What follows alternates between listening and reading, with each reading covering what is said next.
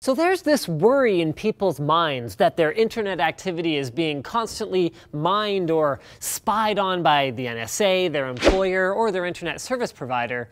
And while some of these concerns might be very well founded, it's important to not forget the low tech but no less effective method of snooping that is watching directly over your shoulder.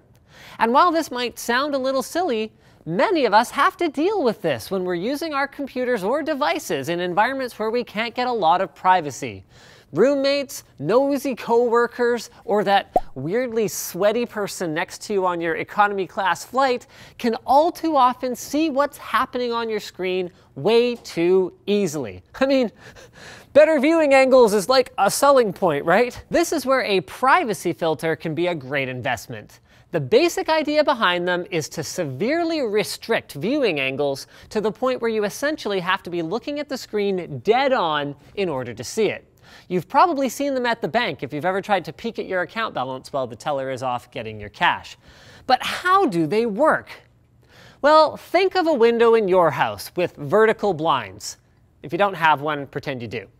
If you turn them so they're completely open, you can see outside fairly easily. But if you stand off to the side, the surface area of the blinds will obscure the windows enough to where you can barely see past them at all. Well, privacy filters work similarly, just on a much, much smaller scale. Some manufacturers refer to their technology as microlouver, as they use the thinness of each individual blind as a selling point. The thinner the blinds, the more light can pass through for the intended user. A typical filter can contain thousands of these blinds to enhance privacy while still making the screen relatively easy to see for whoever's right in front of it. Typically, the filter will start to block out screen contents once someone is looking at the display from an angle of about 30 degrees. Now, although most people buy these filters as an aftermarket add-on for their computer or monitor, we're actually starting to see screens with the technology built in, including, and this is pretty cool, the ability to turn the filter on or off. Because even from the front, a privacy filter does make the screen a little harder to see. Just like looking out a window through completely open blinds still isn't the same as having a window with nothing at all on it. So this is a welcome change if you've ever wanted to watch a movie with the, I don't know, not so sweaty neighbor on the plane. Which is cool, but what if you're doing some super important, like James Bond level stuff on your computer, where a standard privacy filter just won't cut it? There's actually a way to make your screen appear blank to anyone who isn't wearing a special pair of glasses. You see, modern LCD screens use polarizing filters to orient the light waves a certain way so that they come out of the screen as actual useful images or text. Without that filter, light would just come out of the monitor like blah, and it would be this incoherent mixture and end up appearing just plain white. So some intrepid do-it-yourselfers have created their own privacy monitors by opening up their displays, removing the polarizing filter, and then cutting out pieces of it small enough to fit into eyeglass frames. The result is that you have a monitor that will always look plain white unless you're wearing the special specs, which will reveal what's on screen. We actually even have a tutorial on how to do this on our other channel right about here. And while you shouldn't do this on a screen that you're using for gaming or other tasks where visual quality really matters, it's perfect if you're working on a super secret business proposal, have family members that can't keep their eyes off your monitor, or just don't want your boss knowing what you're really doing during work hours.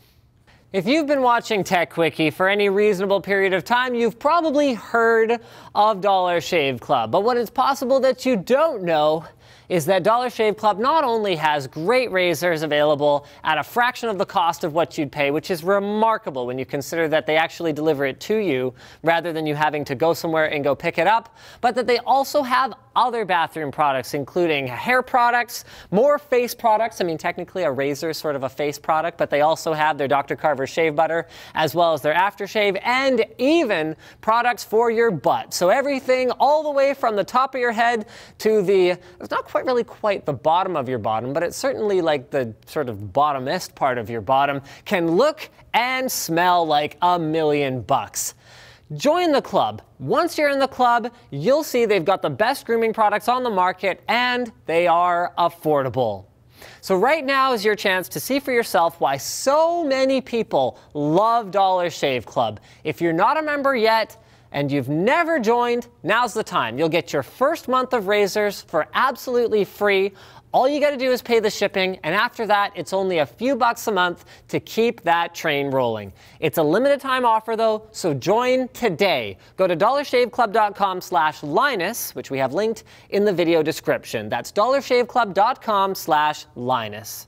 So thanks for watching, guys. If you like this video, like it. If you disliked it, dislike it. If you want to check out our other channels, Boom, you can do that right over there. If you want to leave a comment with suggestions for future Fast As Possibles, boom, you can do that below. And if you want to subscribe and follow, then boom. Nothing, I got nothing. Boom.